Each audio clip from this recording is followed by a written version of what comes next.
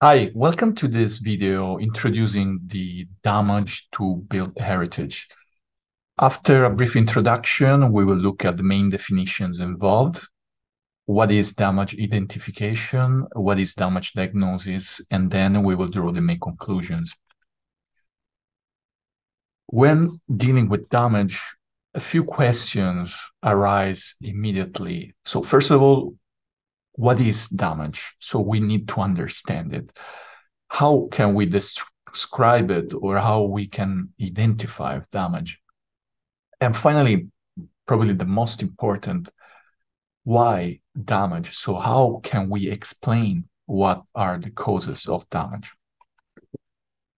Let's look at some of the definitions. First of all, damage is um, defined as the harm, injury, of, or impairment of value resulting from a failure. On the other hand, failure represents a deviation of an artifact from a required pattern, or and in other words, an unacceptable difference between expected and observed performance. Finally, defect. What is a defect? Uh, defects constitute a shortfall in the performance occurring at any time in the life of the product deriving from a complicated interaction between lack of knowledge, education, training, care, or enforcement. So it is very important, first of all, to understand what is damage and it's important to be able to describe describe it and to identify it. We know that there are multiple damage typologies, as you can see from this slide, um, but also the definitions of the different um, typologies is heterogeneous. And usually there is a lack of standard um, understanding of what a specific typology can be. Anyhow, of course, uh, nowadays uh, the knowledge it is quite developed. It is uh, been um, done a lot of research, context specific, material specific, so damage to specific materials, and so on. So um, of course, we can have and understand general categories of damage. So you can see in this slide, starting from top left uh, clockwise, some material loss to, to brick masonry.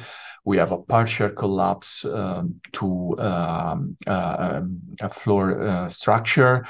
Uh, we have um, then a problem to of biological colonization of uh, of stone uh, bottom right. Then bottom left in the slide, we have an alteration of, uh, of the metal um, decoration plate on the bridge.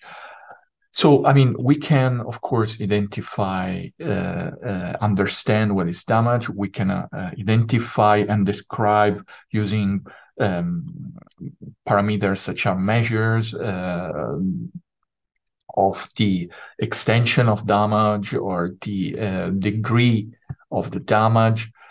Um, but the ability of professionals to understand uh, the um, damages, failures, and effects, and most importantly, to um, map their interrelationships um, stems out from a complex cognitive process, which um, is referred to as diagnosis.